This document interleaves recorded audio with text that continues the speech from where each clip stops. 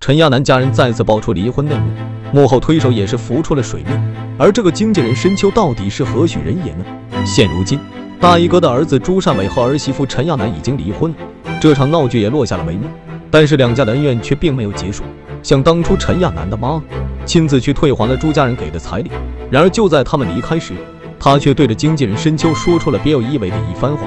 从这些话语中可以看出，在两个孩子的离婚事件中，陈亚楠的妈妈并不怪朱之文，反而他们对于朱之文的经纪人申秋很是不满。这就不让人产生疑惑：难道陈亚楠离婚和经纪人申秋有关？而陈亚楠妈妈接下来的行为更是耐人寻味。她表示要请申秋吃饭，就是不知道这场鸿门宴，申秋敢不敢去？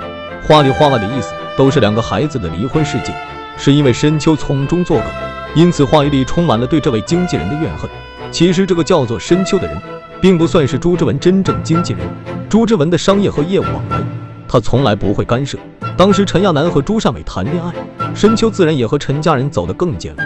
然而没想到的是，在陈亚楠和朱善伟闹矛盾之后，申秋却立刻与陈家划清了界限，露出了自己的真面目。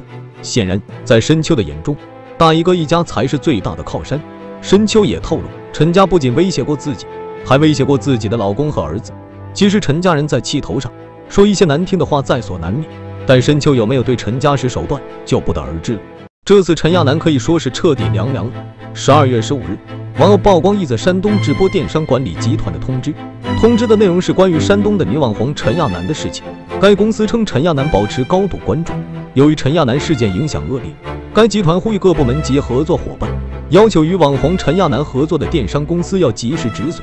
正在与陈亚楠洽谈合作的公司要暂停接触合作。此消息一出，顿时引得网友称快。得出陈亚楠因为和朱小伟的事情，让许多同行和山东的直播从业者都比较反感，以至于这个山东直播电商公司不得不发布文件，通知大家要把陈亚楠列入警示名单。这个发布通知的公司不知道什么来头，在网上查看其注册资金高达五千万，影响力和实力应该是不小的。而且看名字就知道，这公司的主要业务在山东。而陈亚楠则是山东的网红，所以陈亚楠这次被列入警示名单，算是真正的伤筋动骨了。不过随后陈亚楠的行为就让人感到疑惑了，他可能感觉再这样下去不行，于是想了个办法，说感谢大家的关心，自己遭受了许多谩骂，但自己已经原谅大家了。为了表明自己的诚意，陈亚楠愿意把接下来两年中直播赚的钱全部做公益捐出去。听上去好像陈亚楠是在做好事，但本质上还是陈亚楠想继续直播带货。并把自己的直播间和公益捆绑起来，虽然损失一点收益，但好处是巨大的。网友们也是纷纷叫绝，声称这背后一定能够有高人指点，毕竟是做公益，而且陈亚楠自己不用掏一分钱，只是把网友的钱拿去做好事，直播间起死回生，自己也落了好口碑。不得不说，陈亚楠长得丑，想得到挺美。陈亚楠真的是好手段，以为发布一篇小短文就能挽回名誉和损失吗？就在昨天，陈亚楠讲了两件事。第一个是关于账号的问题，因为他的账号现在已经有四百七十多名粉丝。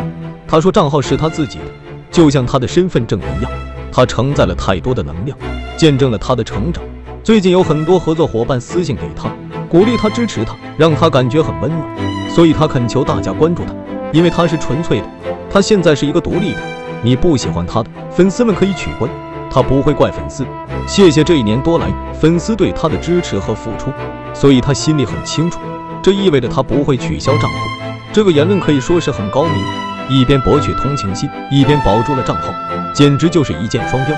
而朱善伟也有了新的动作，两人分开后，朱善伟带着自己的助理，也自己开启了直播间。原本在媳妇的直播间里，连话都说不利索的朱善伟，却变得能言善辩起来，甚至还和身旁的年轻小助理频频互动。之后，朱善伟更是更改了所有社交账号的背景。就连签名也换成了“白白”两个字，头像也从曾经的婚纱照换成了其他图案。可见这次住单位是下定了决心，要和陈亚楠划清界限。而陈亚楠也在直播当中表明，自己已经尽数退还了当年的彩礼和首饰。